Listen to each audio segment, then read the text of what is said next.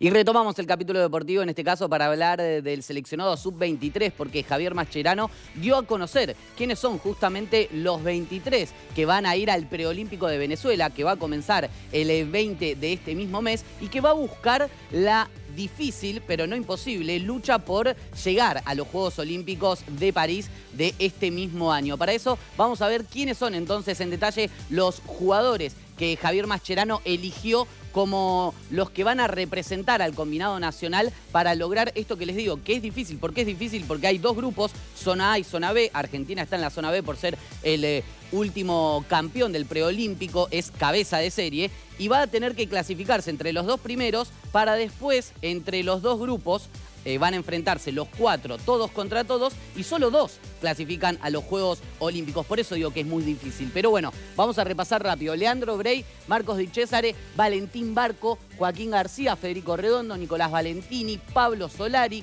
Cristian Medina, Luciano Bondú, Tiago Almada, aquí el campeón del mundo. No hay otros campeones del mundo precisamente porque el eh, seleccionado argentino, va, en realidad algunas figuras rutilantes europeas no están, ya que no es obligatorio ceder a los jugadores. Entonces, por ejemplo, Garnacho, el Manchester United no lo va a dejar venir, Enzo Fernández, Julián Álvarez, bueno, pasa con varios de esos jugadores. Les decía, Tiago Almada, Claudio el Diablito Echeverri, que ingresa por eh, Pepo de la Vega, el jugador de Lanús, quien estuvo en eh, estas últimas horas con una lesión, un desgarro que lo imposibilitó de estar. Entonces, el Diablito Echeverry, que todavía está en Estados Unidos, que iba a tener su primera pretemporada con el plantel oficial de River, va a tener que viajar para ser eh, uno de los jugadores más jóvenes, 18 años, en estar en el sub-23. Fabricio Iakovic también, Santiago Castro, Francisco González, Baltasar Rodríguez, Gonzalo Luján, Aaron Quirós, Juan Sforza, Julián Malatini, Juan Nardoni, X Fernández,